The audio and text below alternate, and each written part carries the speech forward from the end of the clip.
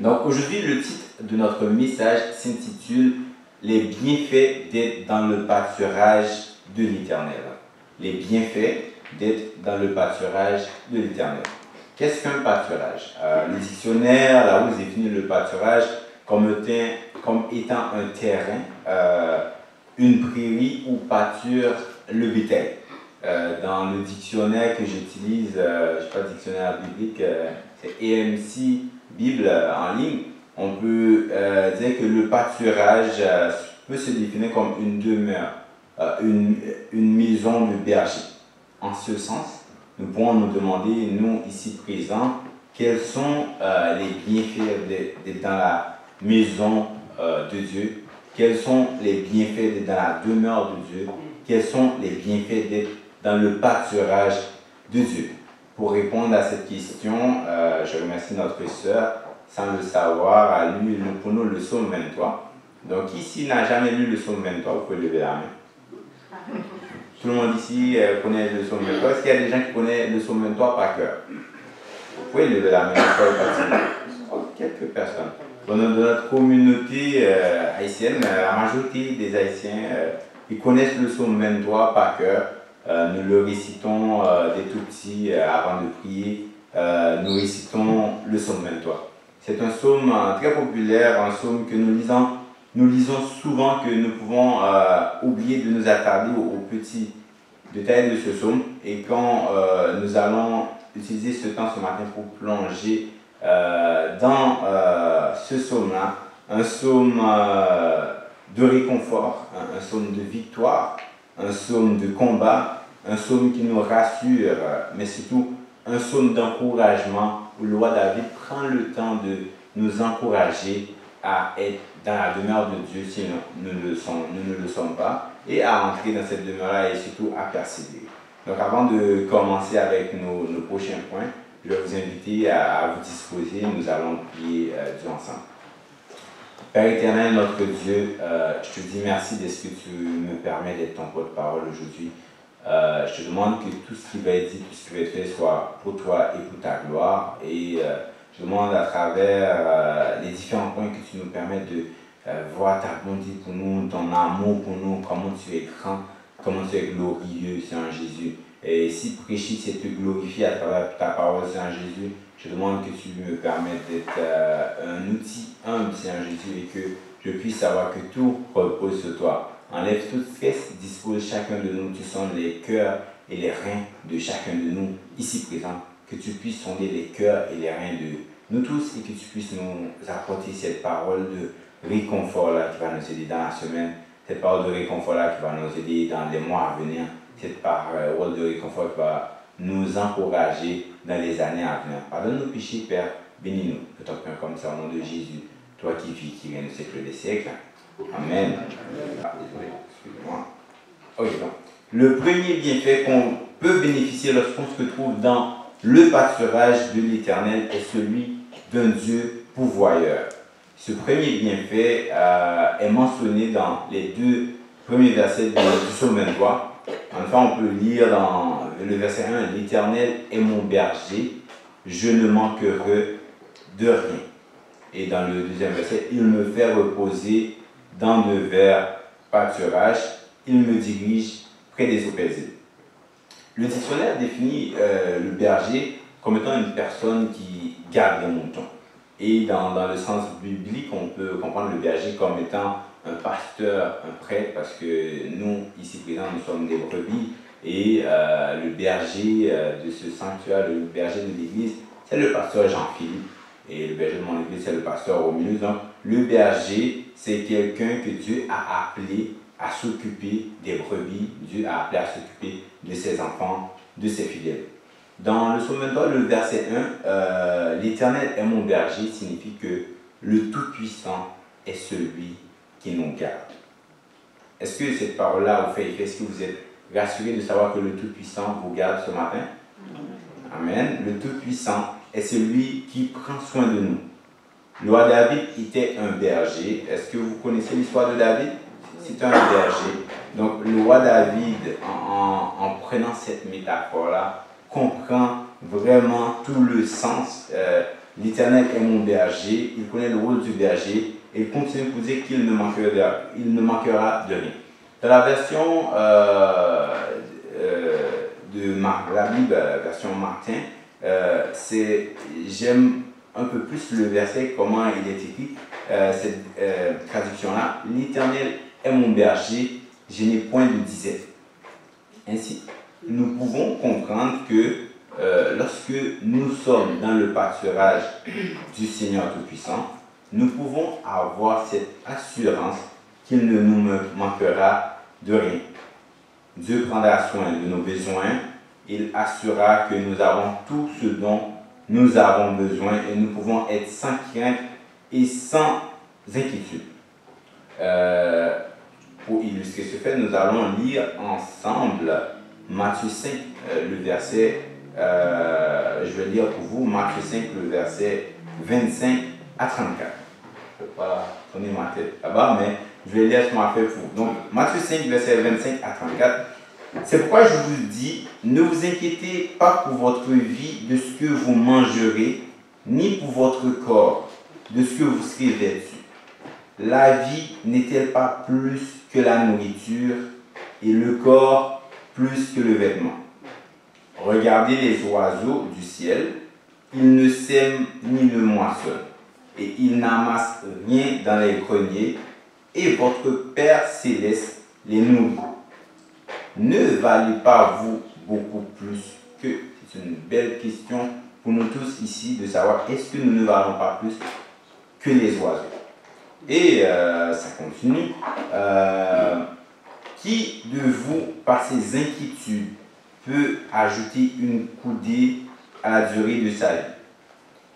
Et pourquoi vous inquiétez euh, au sujet du vêtement? Considérés comme les lits des champs, ils ne travaillent ni ne filent. Cependant, je vous dis que Salomon même, dans toute sa gloire, n'a pas été vêtu comme l'un d'eux. Dieu revêt ainsi l'herbe des champs qui existent aujourd'hui et qui demain sera jeté au four. Ne vous vêtira pas, pas à plus forte raison, Jean de peu de foi. Ne vous inquiétez donc et ne dites pas que mangerons-nous? Que boirons-nous? De quoi serons-nous vêtus Car ces choses, car toutes ces choses, ce sont les païens qui les recherchent. Votre Père céleste sait de quoi vous en avez besoin. Et verset 33 et 34, cherchez premièrement le royaume et la justice de Dieu, et toutes ces choses vous seront données par-dessus. Ne vous inquiétez donc pas du lendemain, car le lendemain aura soin de lui-même à chaque jour suffit sa peine. Tantôt, je vous ai présenté ma, euh, ma fille et mon fils Azel. Mon fils Azel a 9 mois. Donc, en tant que parent, euh, bon, ce, le, ce passage, j'ai pris comme illustration pour montrer comment Dieu nous dit, lorsque Dieu dit qu'il est notre berger, là, il est vraiment notre berger.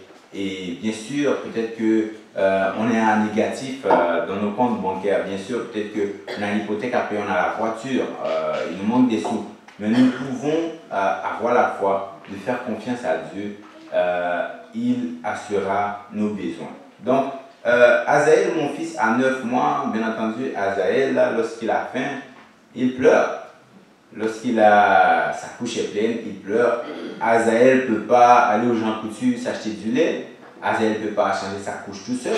Et nous, en tant que parents, nous, nous, avons ce devoir-là de pouvoir, aux besoins d'Azel, de s'assurer que sa couche est changée, de s'assurer qu'Azel a du lait.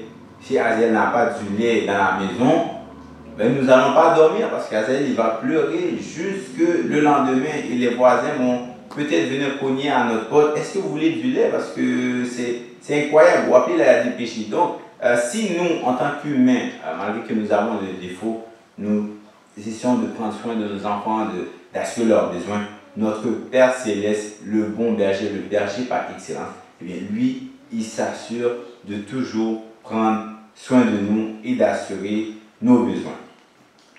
Euh, ça, c'était notre premier point. Donc, Dieu, c'est un Dieu pourvoyeur qui assure nos besoins. Et puis, notre deuxième point, c'est pour vous dire que notre Dieu, c'est pas seulement un Dieu qui va assurer nos besoins euh, physiques ou euh, nos besoins physique, nourriture. Notre, Dieu, euh, nous voulons comprendre que l'Éternel connaît notre besoin particulier. Et si, même si, euh, même si nous ne disons rien à personne, même si euh, notre voisin, même si notre femme, il y a quelque chose qui nous tracasse, même si nos enfants, même si nos mamans ne savent pas, notre Dieu, il est omniscient. Notre Dieu, il est omnipotent. Il sait tout. Il est capable de savoir le besoin que nous avons, puis il est capable de prendre soin euh, de notre besoin.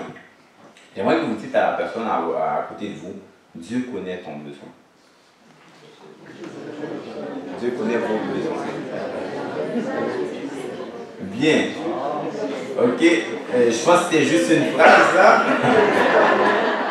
Vous êtes passé dans une petite conversation. Ah oui, comme ça. Dieu connaît votre besoin. Il sonde les cœurs et les reins.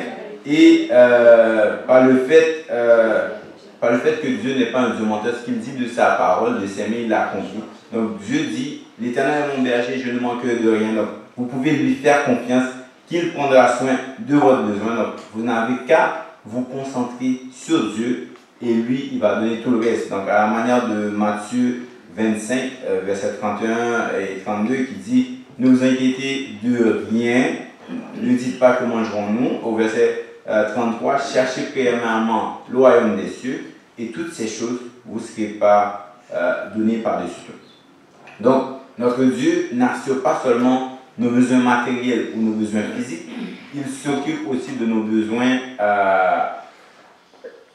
émotionnels et de nos besoins psychologiques. D'où notre deuxième point, euh, le deuxième bienfait d'être dans le pâturage de notre Dieu, c'est parce que nous avons un Dieu qui restaure.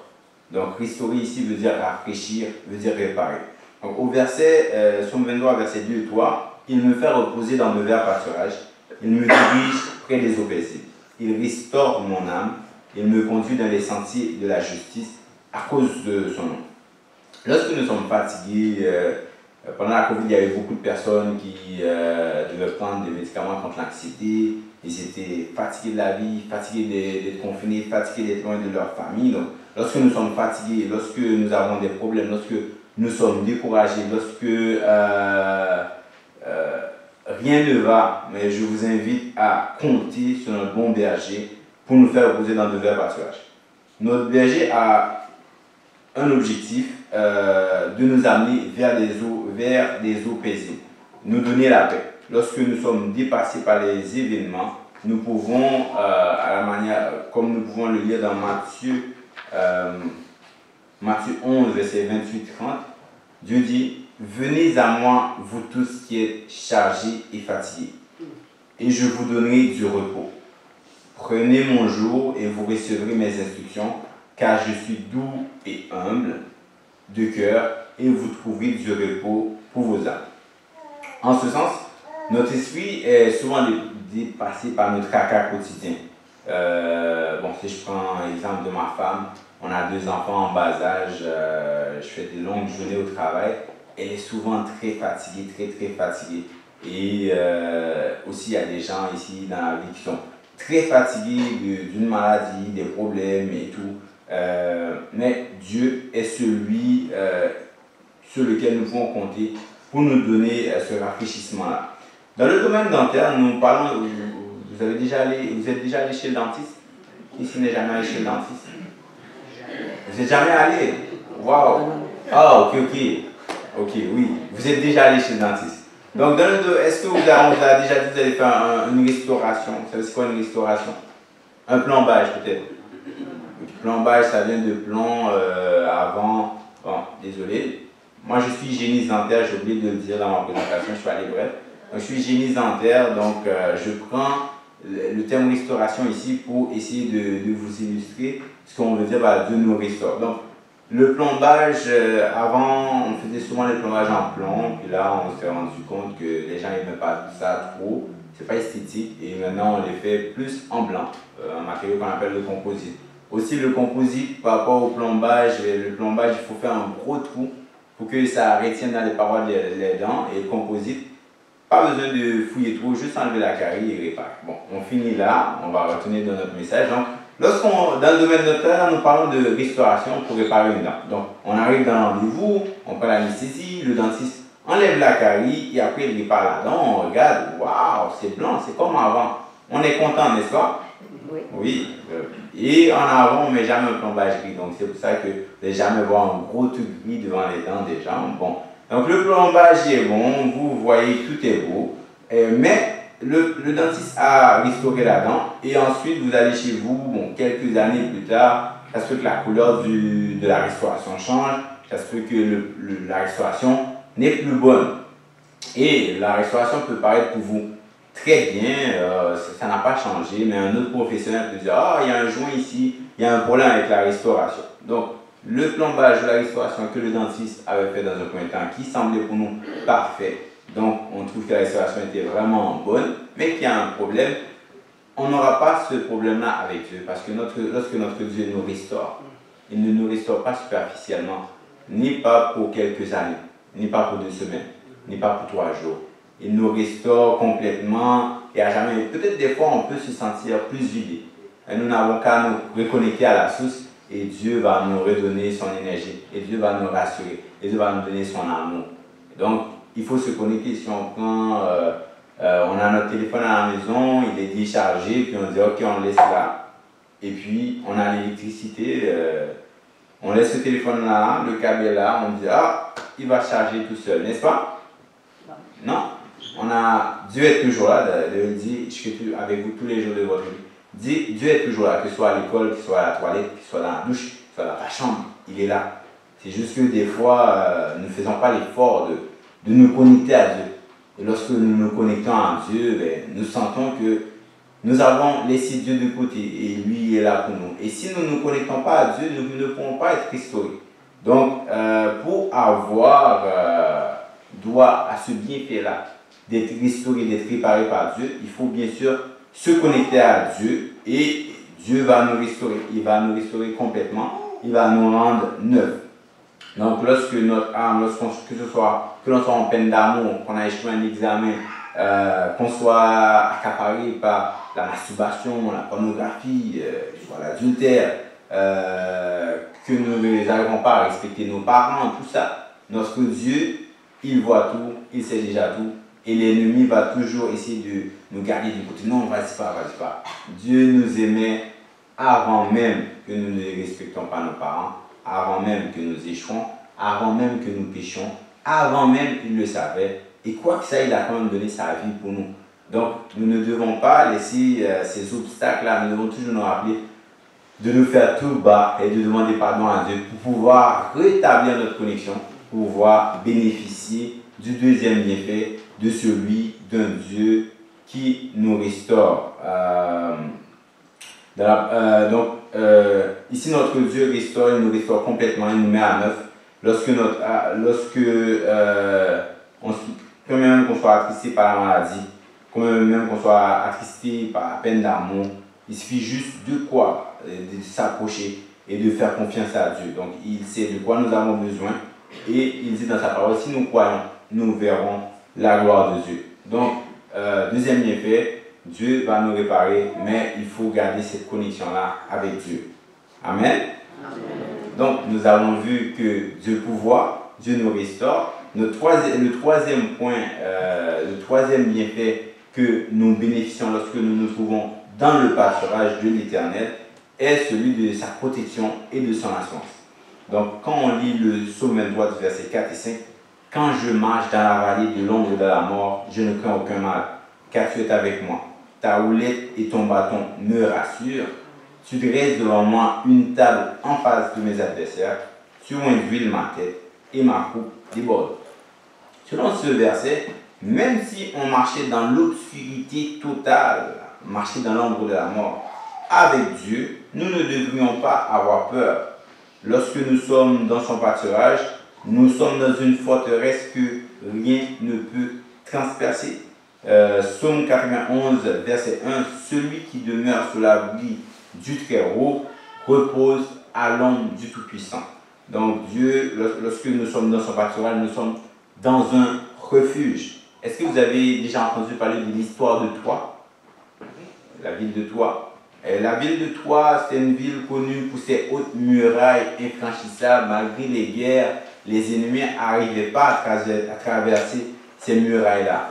Et euh, un des princes troyens, en étant allé en Grèce, a couché avec la femme d'un roi. Les Grecs sont devenus en guerre contre toi. Donc les Grecs sont venus après des batailles, des batailles, ils n'ont pas réussi à franchir cette muraille-là.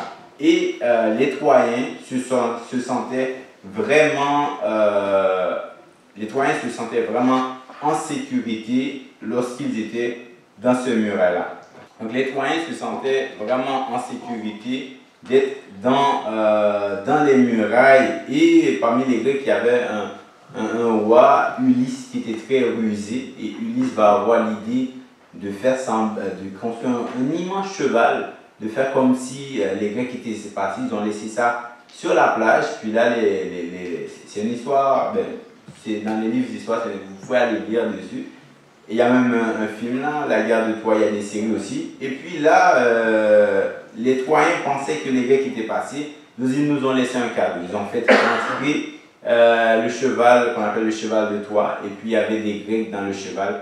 La nuit tombée, pendant que les Troyens festoyaient, euh, ils ont ouvert les portes et les Grecs ont massacré les Troyens. Donc, cette muraille-là, malgré le fait qu'il y a eu plusieurs guerres avant, était infranchissable. Mais les ennemis ont, quand même réussi euh, à rentrer. Donc certains d'entre nous vont trouver refuge, que ce soit dans notre travail, dans nos finances, dans nos familles, euh, dans notre sport, euh, dans notre amour, dans notre couple, dans nos connaissances, dans nos expériences, dans notre physique, dans notre boutique. Mais tous ces refuges-là sont des refuges que, à un moment donné, ça peut être brisé. Mais notre Dieu, lorsqu'on est dans, dans le pâturage de Dieu, nous avons cette assurance que peu importe le loup, peu importe le lion, peu importe euh, l'ennemi, peu importe les ruses, mais cette muraille-là, la muraille de Dieu, ne pourra jamais être brisée. Donc, euh, peu importe la protection qu'on peut avoir, euh, si notre refuge, c'est pas Dieu, il peut faillir. Donc, notre berger, ce n'est pas un berger comme les autres. Comme j'ai dit tantôt, il est omniscient, euh, il voit tout. Certains ennemis peuvent penser qu'ils sont assez rusés pour franchir et entrer dans le pâturage de Dieu et nous faire du mal. Euh, des fois, il y a des gens qui mettent euh, une belle maison, une belle voiture, mettent des caméras. Mais laissez-moi vous dire que les caméras ont des angles morts. Est-ce que vous êtes d'accord avec moi? Il y a des endroits que les caméras ne voient pas. Mais Dieu, on ne peut pas le dernier. Certes, tu peux fermer ta porte, tu peux faire ce que tu veux dans ta chambre. Dieu te voit. Certes, tu peux mettre des clés de sécurité, des nids partout, mais Dieu te voit et Dieu sait tout. Là où ta femme n'a pas accès, là où ton père ou ta mère n'a pas accès, là où ton, mari n'a pas accès, Dieu sait. Et même si c'est dans le travail, euh, tu triches à l'école, personne ne te voit, Dieu te voit. Donc, lorsque nous sommes dans le pâturage de Dieu, Dieu nous voit, Dieu voit aussi nos ennemis. Il faut euh, se garder d'être de rester dans le pâturage. Et dans le psaume 91, verset 7 et 9, je dis que mille tombent à, ton côté et dix mille à ta droite, tu ne seras pas atteint. De tes yeux seulement, tu regarderas et tu verras la rétribution des méchants. Il nous dit aussi dans psaume 139, verset 5, tu m'entoures pas devant et pas derrière et tu mets ta main sur moi. Donc, ça veut dire qu'il n'y a pas de place là. Dieu nous entoure pas devant et pas derrière, il met sa main. Vous voyez? Moi, je suis un humain, je ne peux pas le faire peut juste couvrir de côté. Donc lorsque Dieu nous garde, il nous garde complètement. Imaginez, on prend un maïs, on le met dans une bouteille, il y a un coq qui vient manger le maïs. il, va, il va donner des coups de bec, il va tourner la bouteille, mais euh, la bouteille pourrait franchir parce que ce n'est pas Dieu, mais je veux juste vous dire qu'il va tourner dans tous les sens, mais Dieu est toujours là. Ainsi, nous pouvons comprendre que euh, notre berger euh, n'est pas un berger comme, comme, comme les autres. Et combien même il y a des maladies, combien même il y a des problèmes, combien même qu'on nous accuse, lorsque notre refuge, c'est Dieu, bien, nous avons cette assurance qu'il va nous protéger et il va nous sauver. Nous avons notre quatrième bienfait, euh, dont juste ceux qui euh, se trouvent dans le pâturage de Dieu. Le quatrième bienfait pour ceux qui se trouvent dans son pâturage, c'est sa grâce et sa joie. Dans le psaume 23, verset 6, oui, le bonheur et la grâce m'accompagneront tous les jours et j'habiterai dans la maison de l'Éternel jusqu'à la fin de mes jours. Euh, j'aimerais attirer votre attention sur le fait que les psalmistes aimeraient habiter dans la maison de l'Éternel jusqu'à la fin de ses jours. Combien ici aimeraient habiter dans la maison de l'Éternel jusqu'à la fin de ses jours?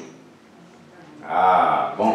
Combien ici n'aimeraient pas habiter dans la maison de l'Éternel jusqu'à la fin de ses jours? Ah, tout le monde est réveillé. Bon. Donc, euh, c'est un objectif primordial pour chacun de nous ici. Un objectif primordial pour chaque chrétien. Habiter dans la euh, maison de l'Éternel jusqu'à la fin de nos jours. Savez-vous pourquoi? Est-ce que vous avez une idée pourquoi il faudrait habiter dans la maison de l'Éternel jusqu'à la fin de ses jours? Pourquoi il faudrait habiter dans la maison de l'Éternel? Je vous ai pris aux dépourvus. Hein? Le pasteur, vous n'avez pas dit de préparer les.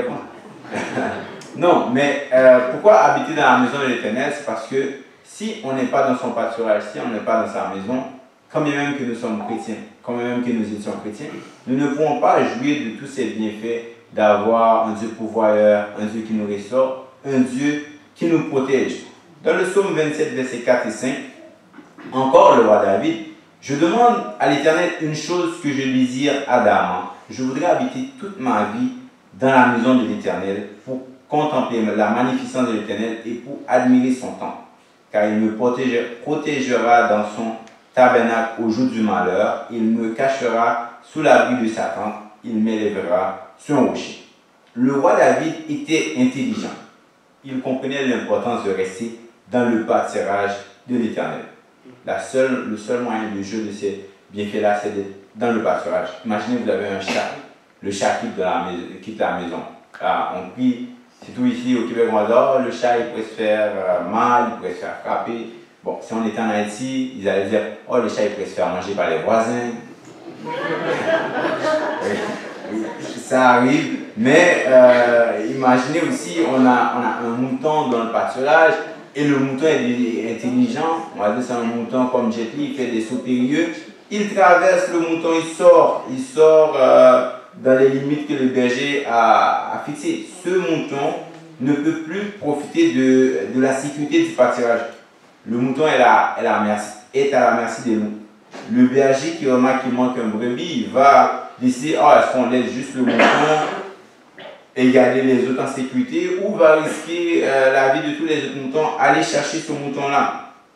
Ici, notre berger, peu importe là où vous vous rendez, peu importe euh, combien de temps vous avez quitté son pâturage. Le pâturage ici, ce n'est pas juste l'église, c'est la relation avec Dieu. Ça se fait que vous êtes à l'église tout le temps, mais vous n'avez pas de relation avec Dieu. Euh, je suis à l'église parce que mes parents vont à l'église. Je suis à l'église parce que si je ne vais pas, qu'est-ce que ma femme va penser? Qu'est-ce que mon mari va penser? Mais peu importe la situation, peu importe votre relation avec Dieu aujourd'hui, Dieu, il sait.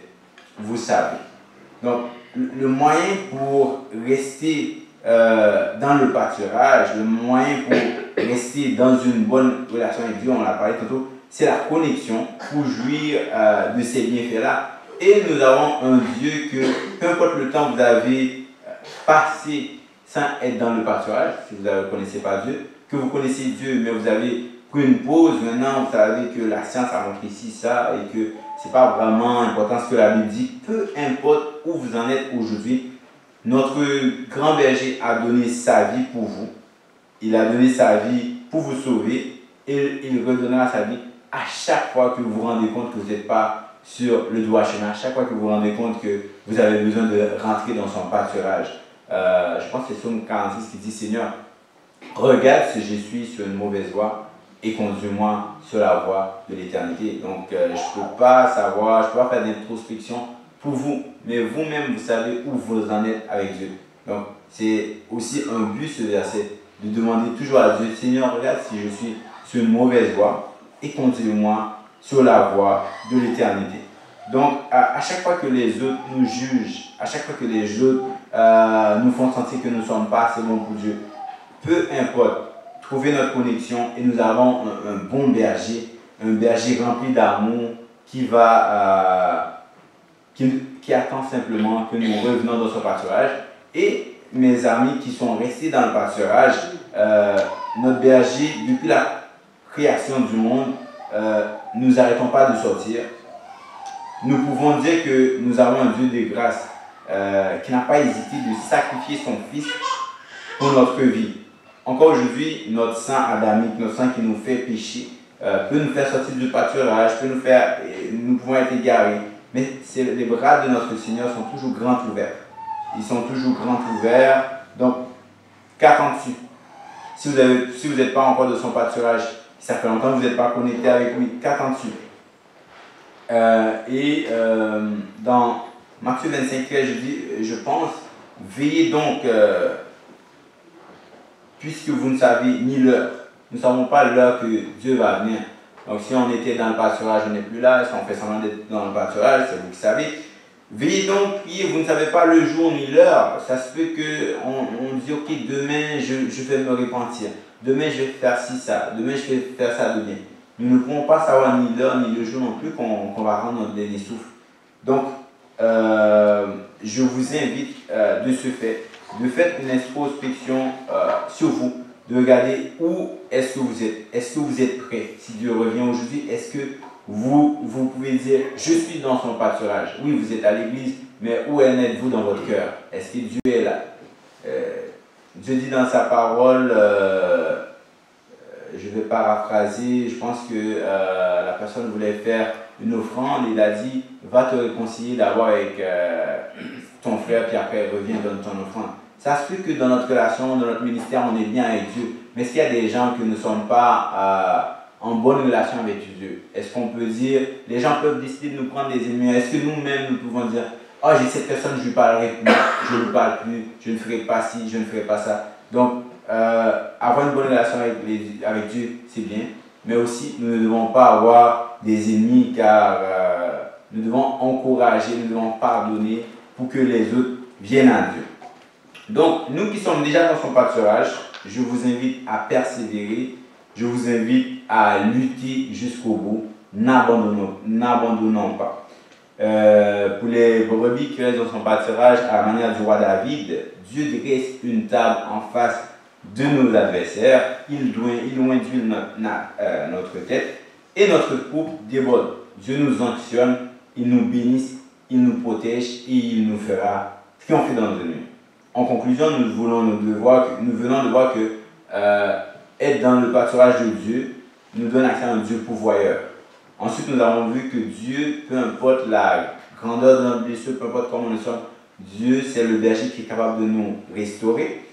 Et euh, nous avons aussi vu que lorsque nous sommes dans ce pâturage, Dieu nous protège, Dieu nous donne cette assurance et sa protection.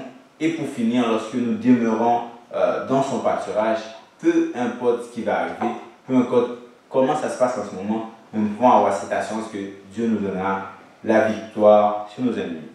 Oui, le bonheur et la grâce m'accompagneront tous les jours de ma vie et j'habiterai dans la maison de l'Éternel jusqu'à la fin de mes jours.